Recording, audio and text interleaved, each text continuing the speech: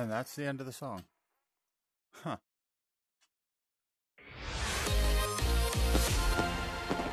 Okay.